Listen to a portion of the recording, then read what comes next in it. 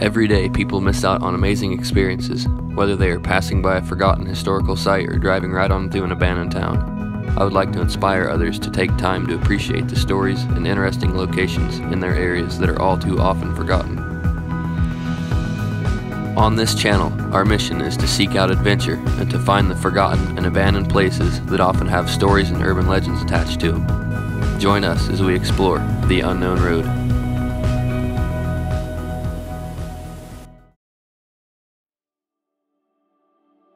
Hello and thanks for watching. There are old churches and schools from the early 1900s on back scattered all across Indiana. Most, unfortunately, are in various states of disrepair. One such building can be seen along Highway 1 in Jay County, Indiana. Its steeple still reaches proudly into the air, and a stone with the date 1913 is embedded near its base. I have went past this building in Knox Township several times, and after exploring it, I still had no clue what it was. Even a passing cyclist said he could find no info on it. It seems to be a mystery to the residents of Jay County. A search of the names on this stone engraved here on the side of the steeple yielded no information that was usable that involved the church. The interior is pretty well gutted and the roof of the main structure is completely missing.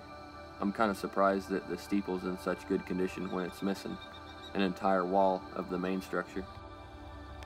After a lot of searching, I came across a web page with information about this derelict building.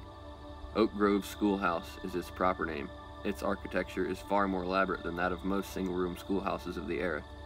According to a woman named Jennifer Peterson Hybert, who grew up next to it, the Oak Grove School has been abandoned since at least the early 1950s. It's kind of strange that this old schoolhouse had been photographed and posted in many urban exploration or abandoned photography pages, yet no one could find any information about it. Not even a name or the fact that it was a schoolhouse. It's thanks to a Jay County resident named Sandy Cossack that the information is available about this building, as she put a post out and received a response that gave a pretty good summary of what this building is.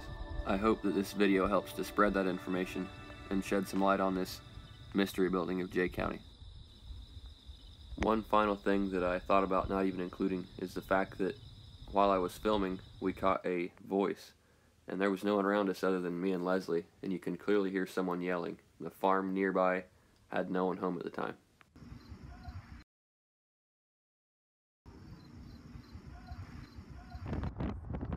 Still not sure what that was, but it's kind of strange.